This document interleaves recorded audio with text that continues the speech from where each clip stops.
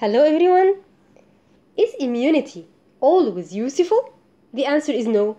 Over immunity can result in hypersensitivity reactions, and there are four main types of hypersensitivity reactions. Type 1 starts with entrance of an antigen into the body.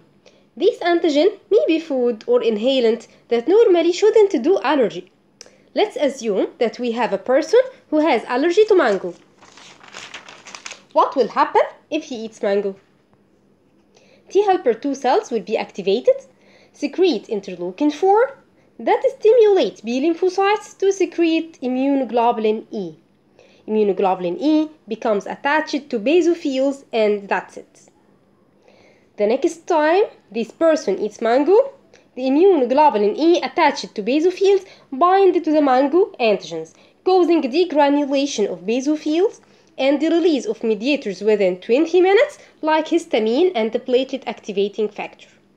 Basophils also start the synthesis of leukotrienes and prostaglandins that be secreted 6 hours later. And with the stimulation of basophils, eosinophils, and T helper 2 cells. What will happen?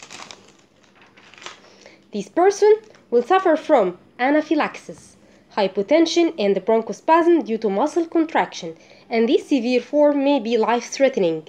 An example is penicillin allergy.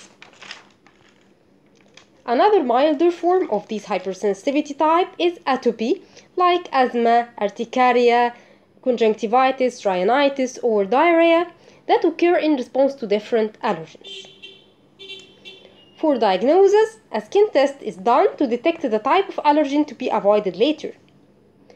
Also, total and specific immunoglobulin E levels are usually high. Anaphylaxis should be treated immediately by adrenaline, cortisone, and oxygen.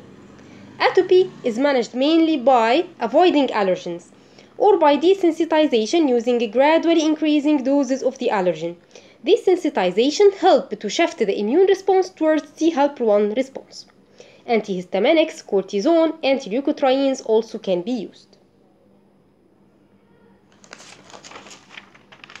Type 2 hypersensitivity occurs when a small molecule, non-immunogenic molecule, becomes attached to a cell, so that antibodies can't identify this cell and consider it foreign and attack it, causing complement activation, opsonization, and antibody-dependent cell-mediated cytotoxicity.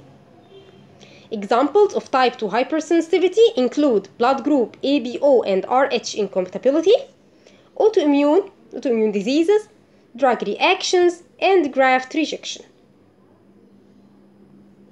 Type 3 hypersensitivity reaction includes immune complexes that become precipitated on, in the basement membrane of small blood vessels.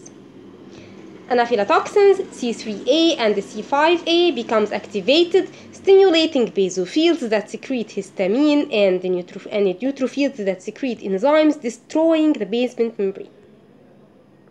Also, platelets accumulate, forming microthrombi,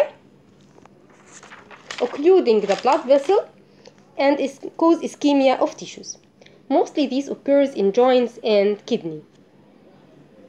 Examples of type 3 hypersensitivity reactions include serum sickness precipitated by some drugs like penicillin, Arthus reaction caused in the part of the skin that is injected with insulin regularly, post-streptococcal glomerulonephritis and autoimmunity.